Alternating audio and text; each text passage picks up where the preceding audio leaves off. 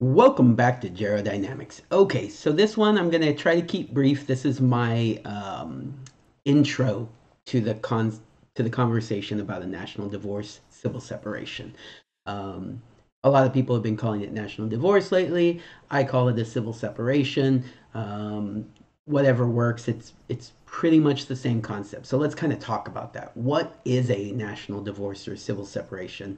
Well, we'll start with what isn't a national divorce or civil separation. So uh, I did a video uh, a little couple days ago talking about uh, Marjorie Taylor Greene and her bringing up the uh, the conversation of a national divorce, and what she uh, presented was not a national divorce. Um, she called it that, I'm assuming for attention, you know, kind of get herself out there. Um, but what she was talking about, and she actually even says it, is federalism, which is basically going back to a system where the states have most of the power and the national government, the national federal government, has very little power.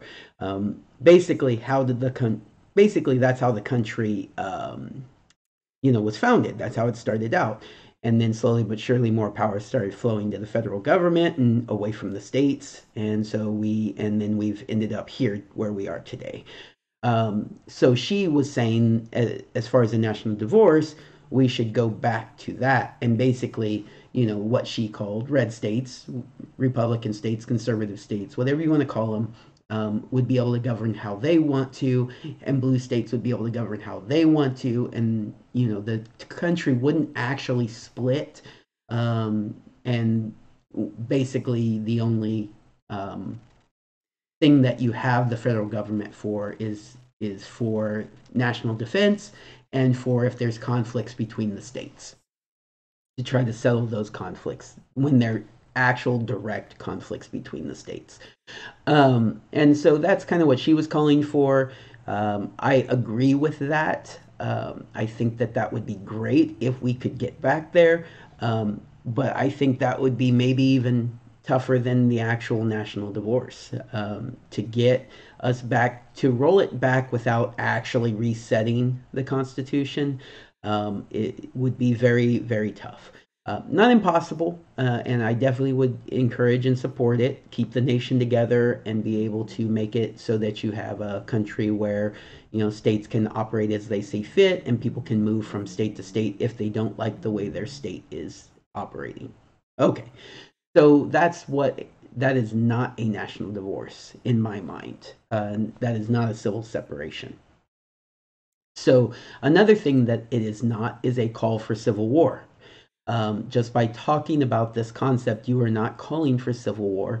I don't want a civil war. Um, and no one that I know of that's talking about a national divorce or a civil separation is calling for a civil war. Um, the only people calling for civil wars are those who think that they could somehow um, you know, have a civil war in response to a national divorce. But that's not accurate either because uh, a national, the other thing a national divorce, civil separation is not, is it's not a um, secession. It's not like what happened with the first Civil War, hopefully the only Civil War, um, where the South seceded from the United States, seceded away from the North uh, to form its own country. That's not what would be happening and so I could see that being resulting in a civil war because you want to prevent the um, prevent states from seceding. I don't think you should, but it could. So I get that. But a national divorce is not that. It's not secession.